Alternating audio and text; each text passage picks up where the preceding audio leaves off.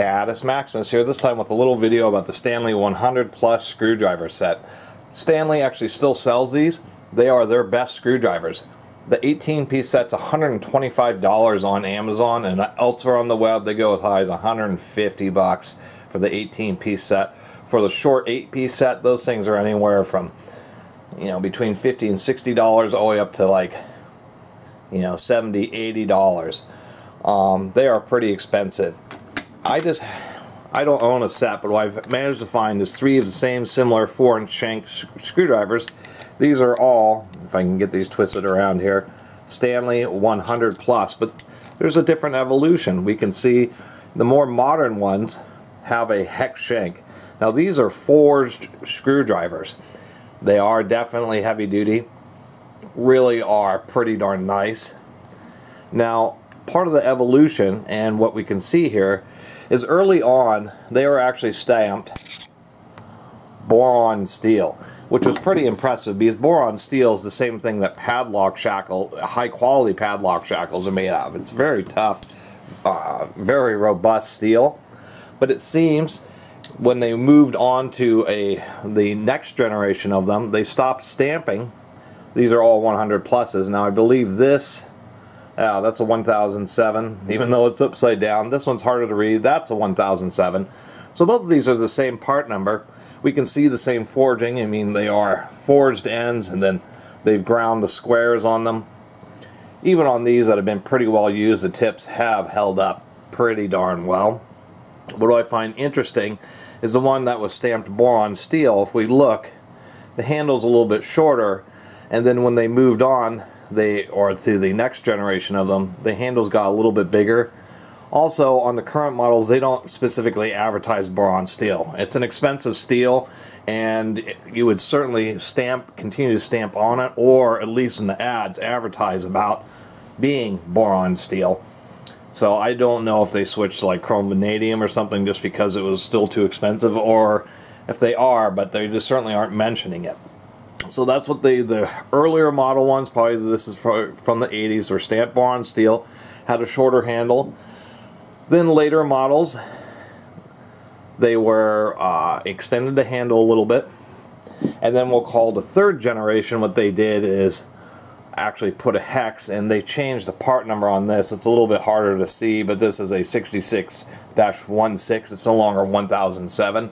So the most modern ones actually have a hex, but we can still see, excuse me, that that is also forged on there. The second thing that's pretty obvious is it's no longer a square shank, it's a ground round shank. What I also believe is that the shank is just on the newer ones with the hex, and the round shank just isn't quite as thick. There's just not quite as much material on this round shank as the older square shank ones were. And so that was kind of the purpose of this video. One to talk about the uh, um, evolution of these. My goodness, my I'm lost for words. Anyway, talk about the evolution of Stanley's very best screwdrivers. To mention that they still are available, but they are very expensive. That they originally started out as boron steel, but they moved on, and the fact that as generations of products go on, it's not just the per, my perception that they may have downgraded the steel, but the fact that they, you know, even though I kind of like the hex bolstering, so you can put a wrench on there to get extra torque, you can certainly do that with the hex or the square shanks.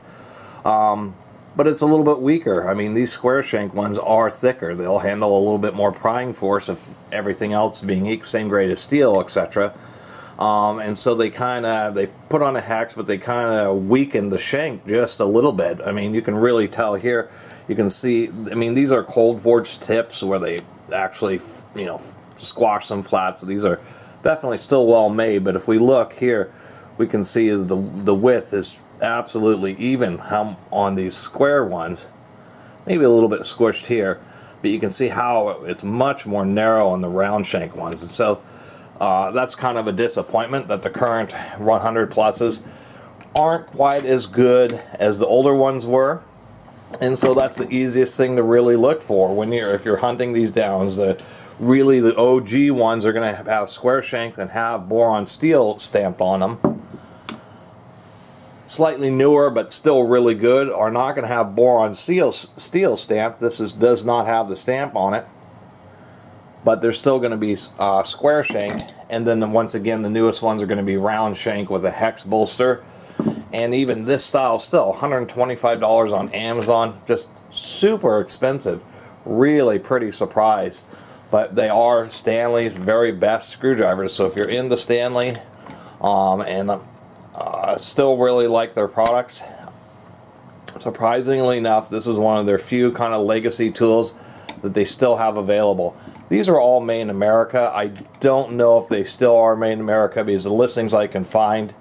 Um, actually, this one certainly says USA on it. So I just presume that they are still American made.